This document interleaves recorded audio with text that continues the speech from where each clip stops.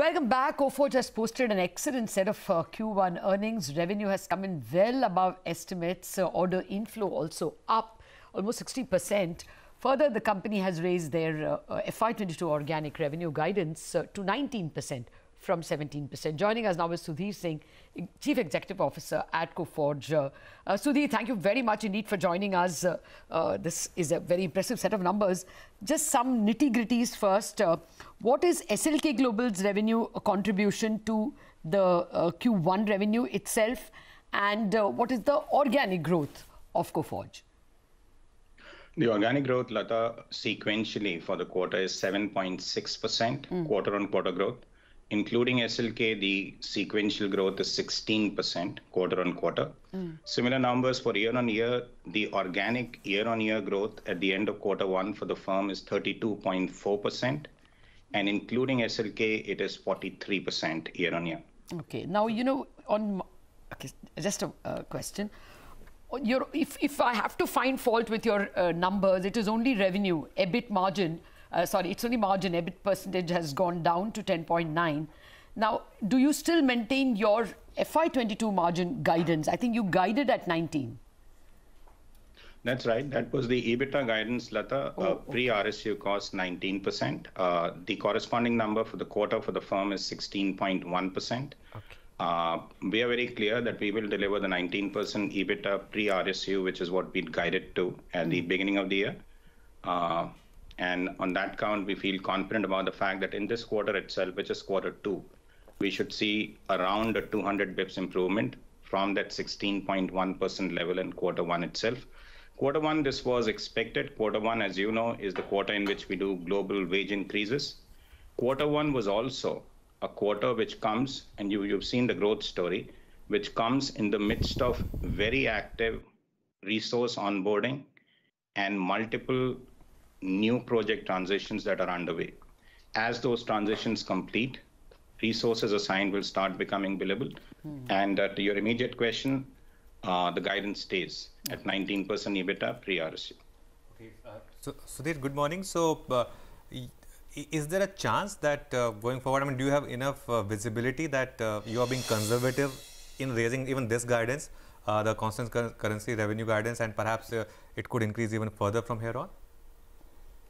See, if you look at our numbers in quarter one, uh, and if you just look at our organic revenue multiplied by four, assuming no growth for the rest of the three quarters, which obviously hopefully will never happen, we are already trading at about trending towards at least an 18% plus mm. CC organic growth for the year. Mm. We are being conservative, as we always are, when all that we are offering at this point in time is a 19% guidance. And we've qualified that by saying that the growth will be at least 19% in organic CC terms.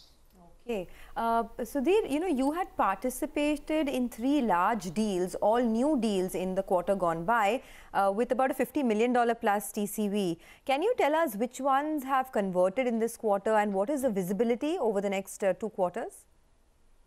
Absolutely. Our order intake number for this quarter was $318 million. Last quarter, the number was $201 million. So that number has gone up by 60%. Mm. We've signed three large deals. One of them is the largest ever that our InsurTech business has signed in its history. The second one is a $100 million plus banking mandate that we have. And the third large deal is a pure cloud and infra play from our point of view. So, I mean, if I were to sum this, uh, all of this up, our order executable, which is the next 12 month orders already booked, is at $560 million, and that's 20.4% higher than where that metric was a year back. Okay, now let me come to the fundraising. You said you will raise 375 crore in fresh equity via a QIP or an ADR listing. What's the logic for the ADR listing? Uh, so at this point in time, Lata, the board has passed an enabling re resolution. It is out there for shareholder approval, and hopefully that will come through a result around that on the July 30th, the AGM itself. On the ADR front, uh, we are excited about going down that route if indeed the board decides to go down that route.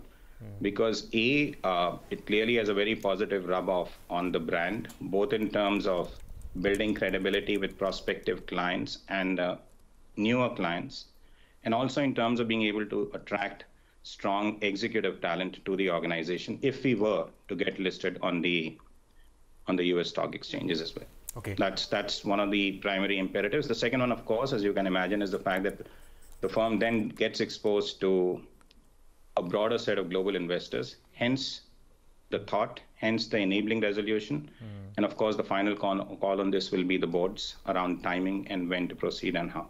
Okay. Uh, a two-part question, uh, Sudhir. Uh, you know, uh, what is Baring's plan now? Uh, have you had a chat with the promoters because uh, the stakes come down from 70% to 55%. Uh, is this now going to stay at 55%? Uh, you know, because in the past uh, on Hexaware, there are different strategies. They had delisted the company and per perhaps were looking for selling it. So, any any chat that you've had with Baring on that? No, I, as you can imagine, I can't speak for Baring. They've been outstanding uh, mentors, partners around the growth journey. But decisions that they take around shareholding would be decisions that uh, I suspect they're best qualified to answer. We haven't had a conversation. Um, so far on this. All right. Okay. We'll leave it at that. Uh, Sudhir Singh, uh, congratulations on a great set of numbers. Thank you very much for joining us. Thank you, Lata. Thank you, team.